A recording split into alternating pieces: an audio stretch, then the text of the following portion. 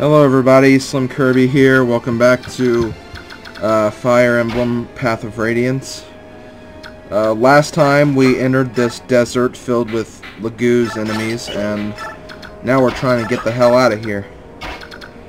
And on the way, we're killing some Laguz to make up for it.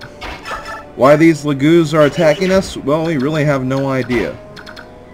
Uh, the storyline was kind of sketchy about that aspect, but I'm sure we'll find out everything in time. That's usually how this game works. Okay, hopefully Jill can kill this Laguz, because if she doesn't, Miss could be in very big trouble. But thankfully, she does. And I think I'll move her right here so she can get in range of the uh, raven over there. I think that's a raven. It's either a raven or a hawk. It's hard to tell since um, the screen I'm looking at is so small. Usually if it's a dark black color, it's a raven. If it's a kind of a gray, or not really a gray, but a brownish, uh, a light brownish color, it's usually a hawk. Also going to move Nephenee forward a little bit. Oh goody, the hawk attacked us, or, we know it's a raven. Yeah, it's definitely a raven. It's black, so it has to be a raven.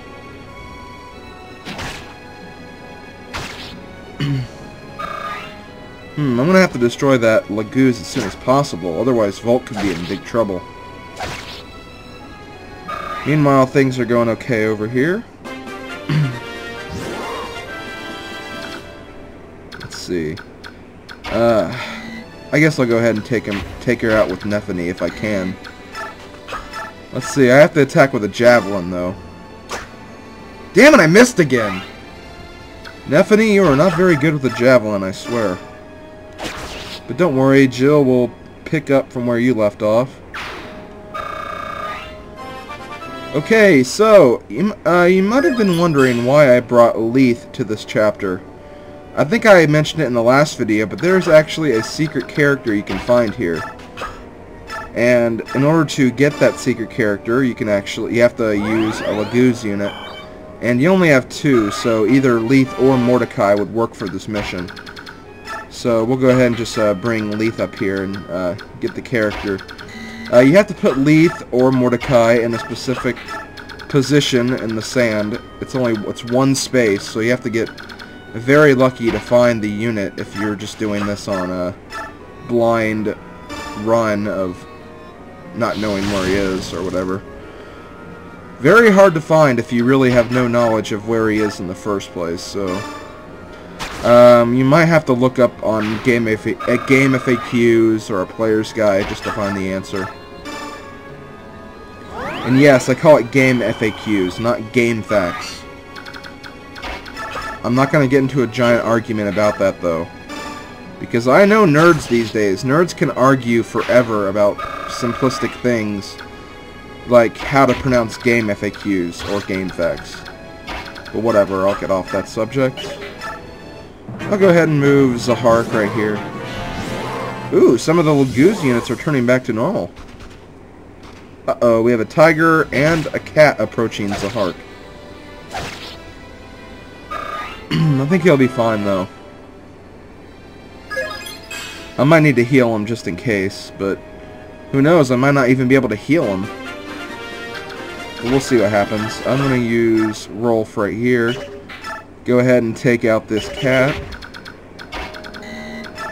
And I'm also going to use Zihark to take out this tiger. Hopefully he criticals. No, I should have used the killing edge. Oh god, that was close. Zihark almost died right there. Jeez. That was very close. okay, Rolf took out the cat. And we're pretty clear of enemies right there. We have to take out those birds in the north. I hope one of them can't get to the Zihark or anything, but we'll go ahead and keep moving. Well, uh... Oh, okay, we found the shine. Uh, we actually can't use shine yet because we don't have any um, light magic users. But, oh well. Let's see, let's go ahead and move. Can she move up here? No, she can't. She needs one more space. Uh, for those of you wondering, uh, the space you're trying to get to is uh, the third space from the right on the second row. Um, I don't know. Um, most people use the dimensions from uh, the left side, but I really don't didn't feel like counting all the way from that one side to the other. So let's see and oh crap! Oh Jesus! Thank God that was that close to doing this whole chapter over again. Whew! Thank you, Zihark, for dodging that. That would have sucked if I if he died there. That would have been a whole chapter's worth of stuff to do over. And this desert chapter is not a chapter you want to lose your best units on. Because it's so frustrating to just move around. Okay, right here I'm kind of just uh, looking at my game FAQs map just to check in on see where some of the other squares are and some of the other items are. But then I forgot I was recording, so I went ahead and just like ditched the map and went back to playing. But anyways, you want to go right up here, one space above Lethe, where she is right now. Hmm, she senses something.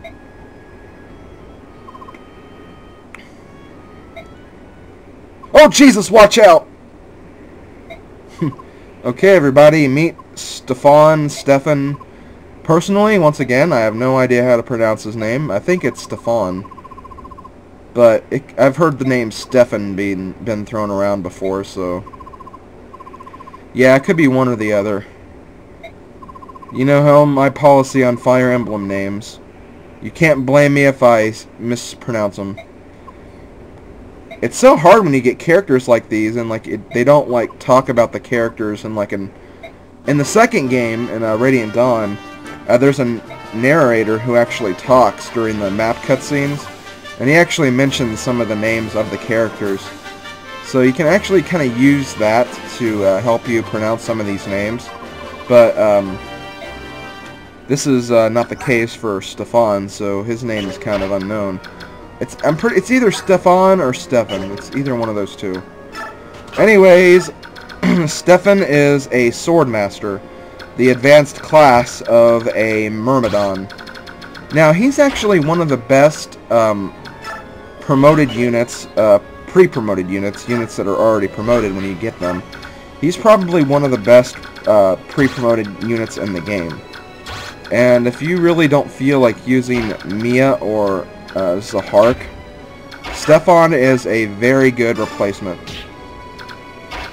Uh, his stats are just really good for a sword master. They're the, kind of stats you want for a sword master. So I really recommend Stefan if uh, you don't have any of the, if you're not using any of the other uh, Myrmidons. But since I'm using Zihark, I'm afraid Stefan is going to be benched for this playthrough. But I will take his weapon though.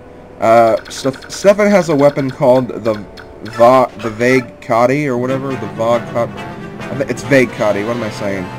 Uh, the Vague Katti, it's a very powerful sword, it has a very high critical rate.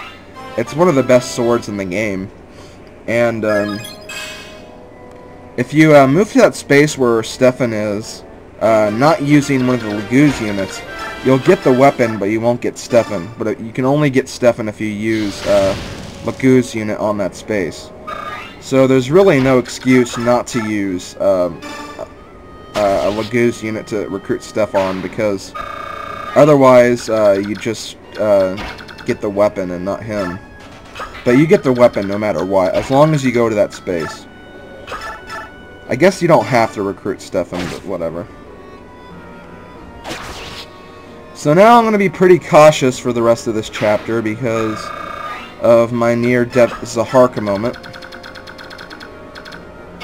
I'll go ahead and move uh, Lethe over here because um, actually there's supposed to be a white gem located in this this four square area that Lethe is in, but uh, I have trouble finding it.